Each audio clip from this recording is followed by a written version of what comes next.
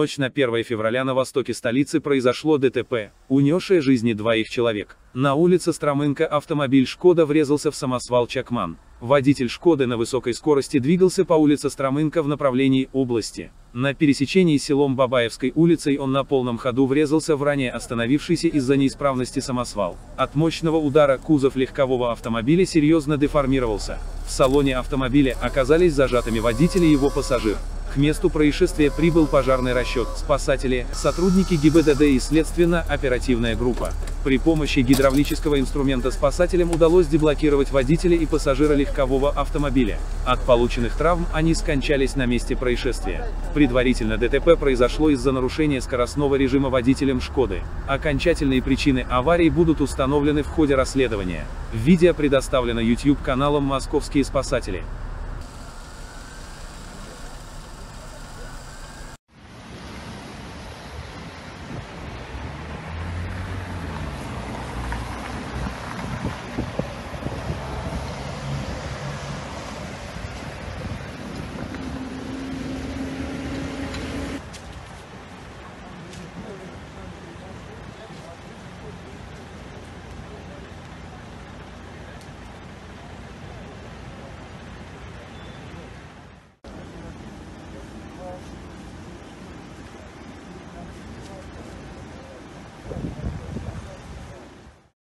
На юге столицы Hyundai Solaris врезался в столб.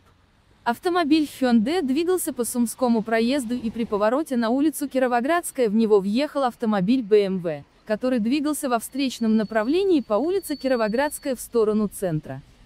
После столкновения автомобиль Hyundai отбросило на тротуар, где он совершил столкновение с фонарным столбом. Пострадавших в ДТП нет, виновника аварии выявят сотрудники ГИБДД.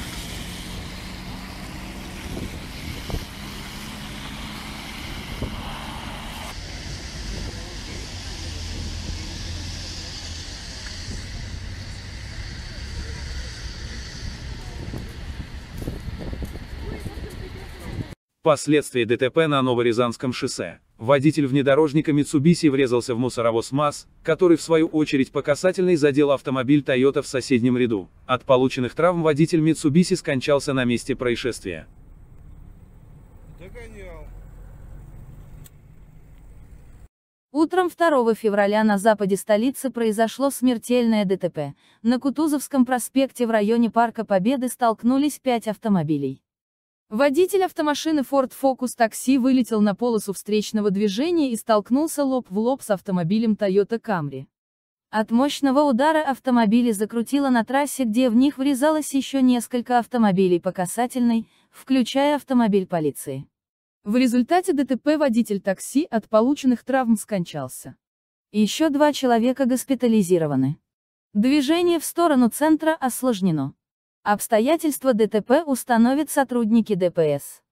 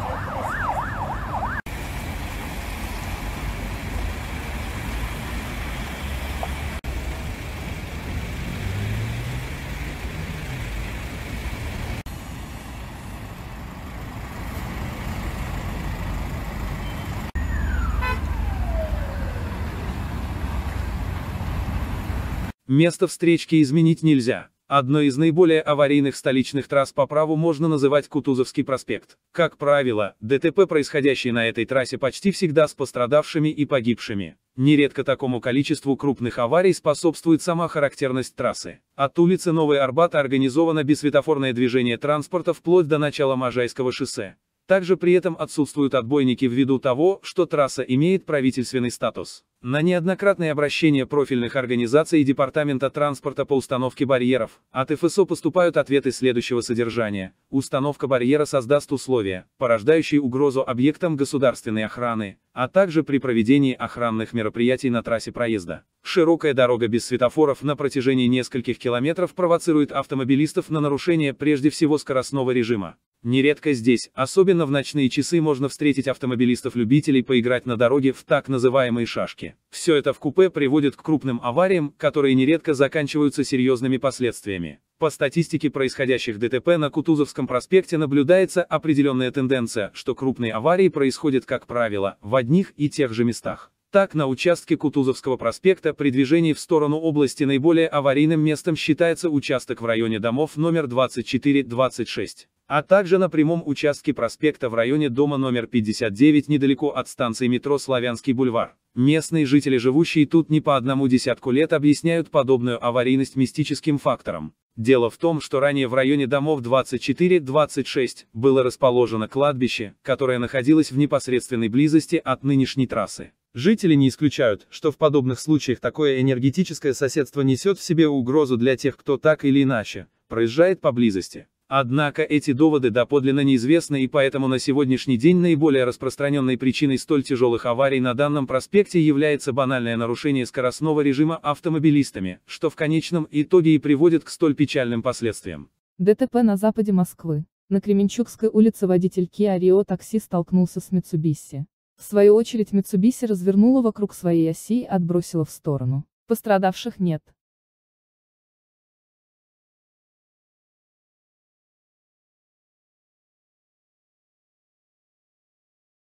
ДТП на трассе М9 Балтия, Новорижское шоссе. Столкнулись автомобиль Рено и КАМАЗ с полуприцепом. Водитель Рено двигался в направлении Шаховского и на полной скорости врезался в прицеп, выезжавший с второстепенной дороги фуры на базе грузовика КАМАЗ.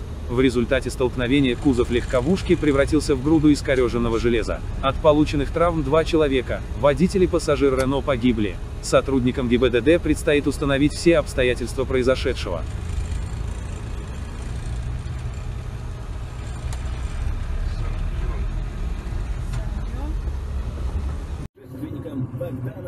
Булычевым.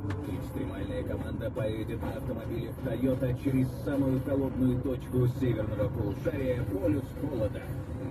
Пути и более пяти тысяч километров арктического бездорожья. Еще ни одному российскому и иностранному экипажу не удавалось преодолеть этот маршрут на машинах. Точнее, пока не удавалось. Установите новый мировой рекорд вместе с нами. Слушайте нашу программу «Полюс холода» 13.28 и 19.28 на радио «Родные дороги». Спонсор выпуска ООО «Сисана». Семейная клиника. Погода в Подмосковье. Сегодня астматическую ситуацию в столичном регионе обусловит слабое влияние ливня антициклона. Ожидается уличная с прояснениями погоды преимущественно без Пожар произошел в административном здании на северо-востоке столицы, сообщил агентству городских новостей Москва источник в экстренных службах. В детском центре на улицу Полярная, дом 54, а произошло возгорание. Идет полная эвакуация, сказал собеседник агентства. Согласно информации из открытых источников, на улицу Полярная, дом 54, а расположен Центр содействия семейному воспитанию «Полярная звезда».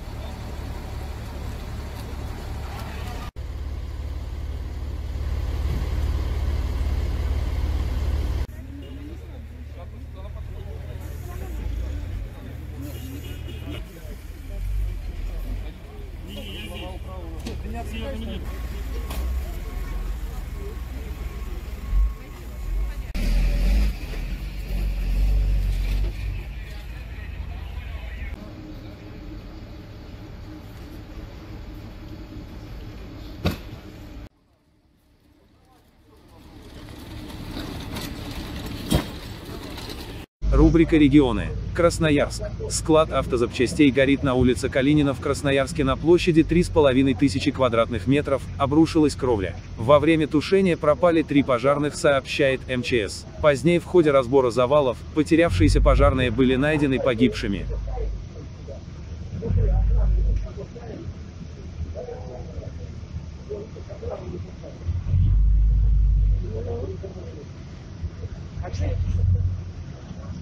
Thank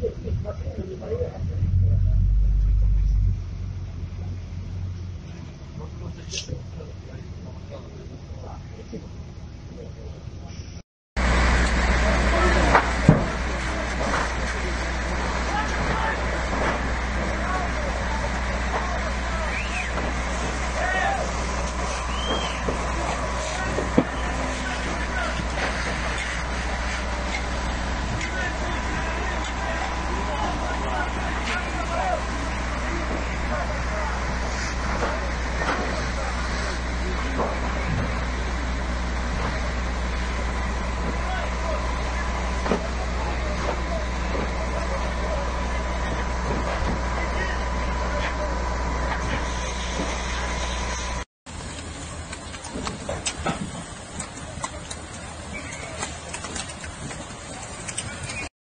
Пожар в административном здании на севере столицы ликвидирован, сообщили агентству городских новостей Москва в пресс-службе ГУ МЧС России по городу Москве. В 13 часов 19 минут возгорание на Ленинградском проспекте ликвидировано. Площадь составила 20 квадратных метров. Пожарно-спасательными подразделениями в ходе проведения разведки и тушения пожара с третьего этажа были спасены 5 человек. Спасенных осматривают медики. С четвертого и пятого этажей выведены 8 человек, сказали в ведомстве.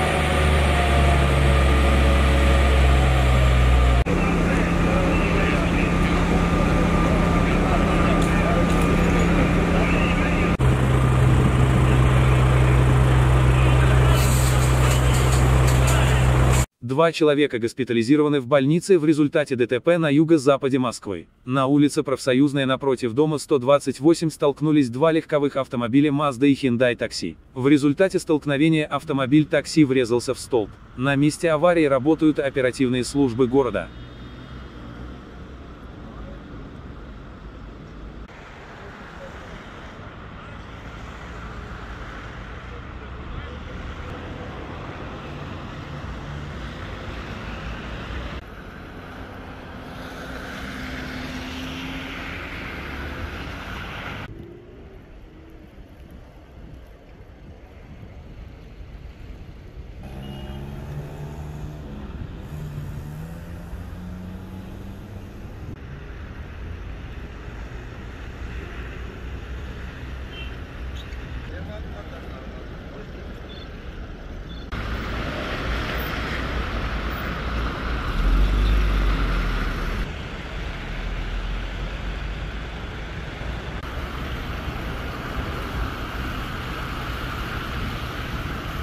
На внутренней стороне 98-го километра МКАД в районе Метрогородок водитель грузового транспортного средства не справился с управлением и совершил наезд на дорожное ограждение.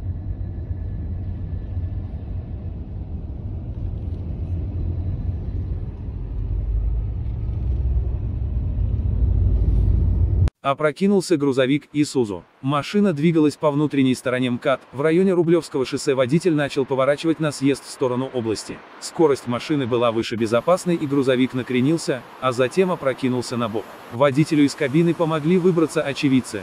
Мужчина не пострадал. На место аварии прибыли сотрудники ГИБДД, экипаж ЦОДД, а также грузовой эвакуатор. Опрокинувшийся грузовик был отбуксирован в карман безопасности. На время проведения эвакуационных работ съезд с внутреннего кольца МКАД в сторону области был перекрыт.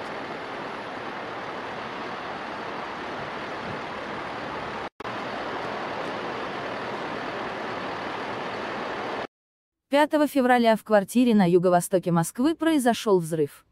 Инцидент произошел в районе Печатники на улице Полбина, дому 42. После взрыва произошел сильный пожар в квартире на девятом этаже в двухкомнатной квартире. На месте ЧП работают пожарные, несколько бригад скорой помощи и газовая служба.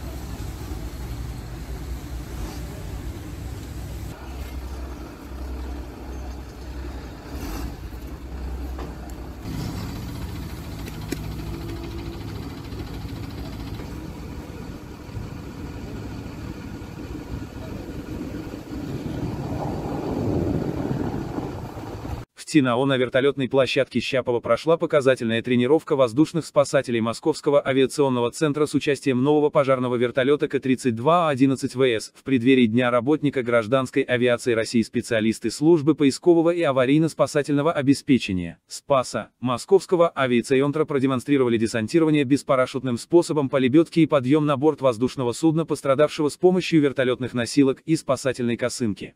В центре Москвы произошло ДТП. На улице Большая Якиманка столкнулись Kia Optima службы такси и Kia Rio. Водитель автомобиля Kia Rio совершал поворот в сторону второго хвостого переулка. В этот момент в него врезался автомобиль такси. После удара такси выбросило на тротуар у дома 27 по Большой Якиманке. По счастливой случайности на пути такси не оказалось пешеходов. Из участников ДТП также никто не пострадал. На месте ДТП работают сотрудники ГИБДД, устанавливаются обстоятельства ДТП.